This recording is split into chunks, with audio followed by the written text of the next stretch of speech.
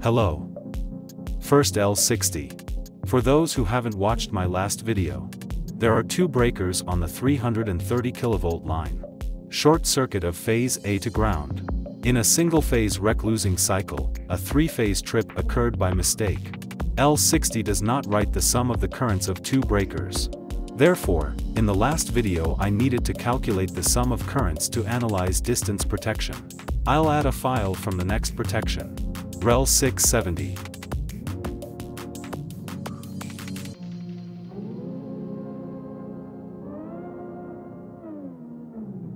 The devices are not synchronized with each other, so I will do it manually. The black cursor is responsible for the bottom file, I place it at the beginning of the short circuit. The red cursor is responsible for the top file. I put it in a similar place in the first file.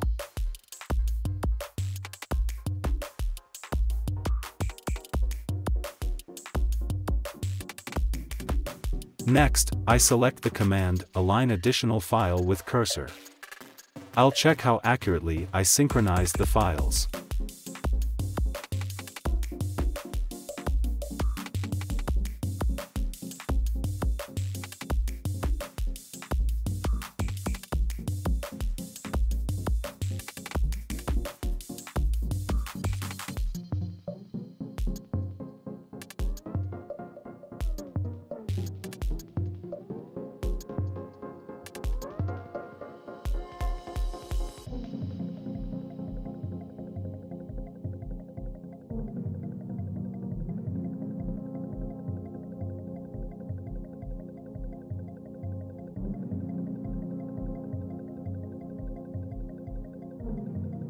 The difference is 1 millisecond.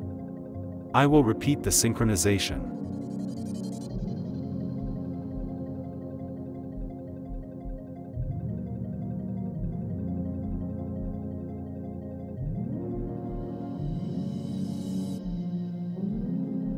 I'm uploading the third file. Please note that the first two have been merged into one file and I can no longer move them relative to each other.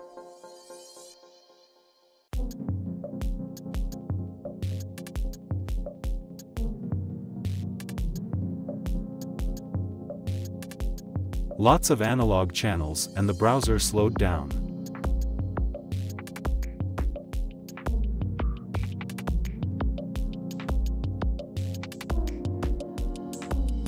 If you pay attention, in 7SA522 the currents are reversed, this is because the windings of the current transformers to which the device is connected are assembled differently. In the protection, the grounding point is switched so as to show the direction correctly.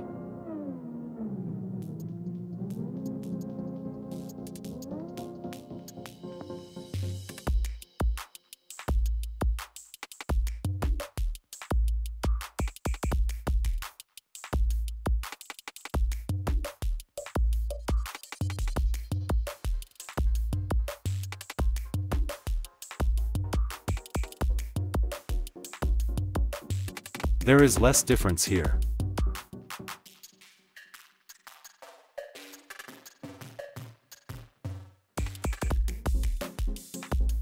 Let's check how accurately the files are synchronized now. Look at the black cursor. At the top is L60, then REL670, at the bottom is 7SA522.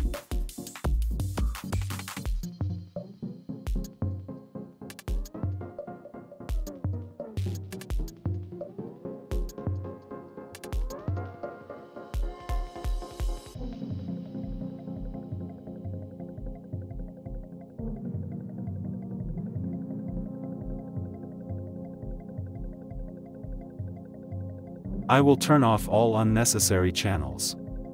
The REL 670 records the sum of the breaker's currents, so for the analysis I will use the channels from this device.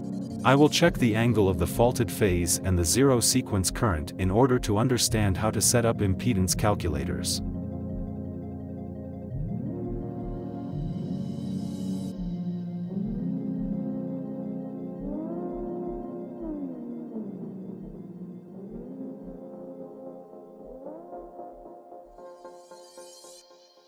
The vectors are codirectional, our calculators are designed just for this case.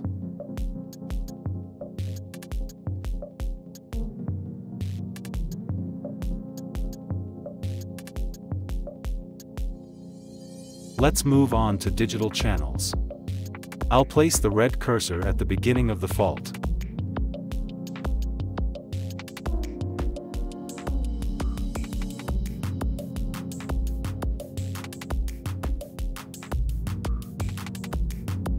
Here is the operation of the first step of distance protection in the L60.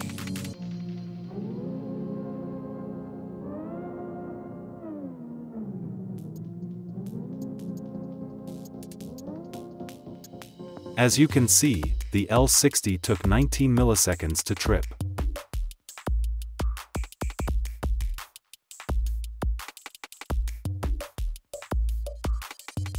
Here is the operation of the first step of distance protection in the REL 670.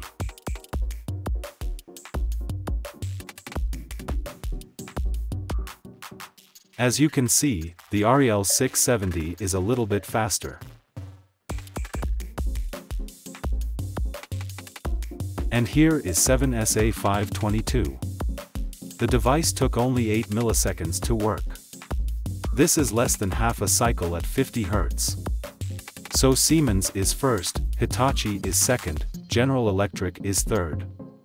We can end here, but I want to show the differences in the characteristics and calculation of impedance. I'll leave only analog channels from the REL 670 so that the browser slows down less.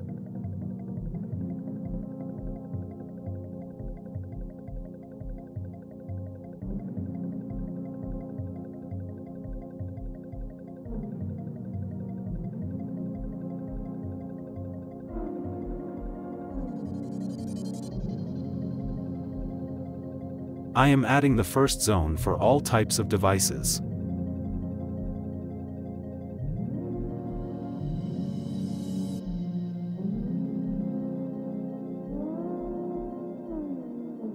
I'm inserting the settings. To begin with, I'll select the phase phase loop to see what the characteristics look like. L60 and 7SA522 are absolutely the same. Now I switch to the ground phase loop. Serious differences are already visible here, primarily due to the fact that the REL 670 has increased characteristics. I am adding calculators for each device.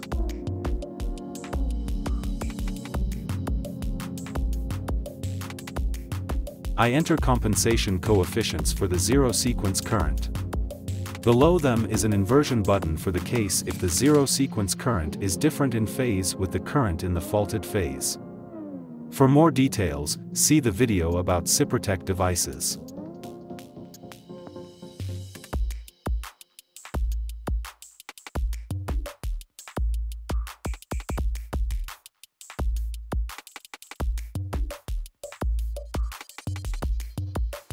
Now you need to link the channels in the ComTrade file with calculators.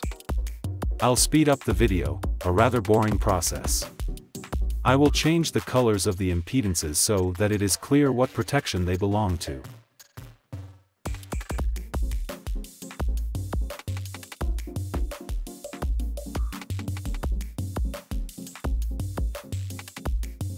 Here you can already see how zero-sequence current compensation affects the measured impedance. It can be seen that after compensation, the impedance vector is smaller for the 7SA522 and its active component is slightly larger. That's all. Thank you for watching. Like, comment, subscribe, share. Peace for everyone.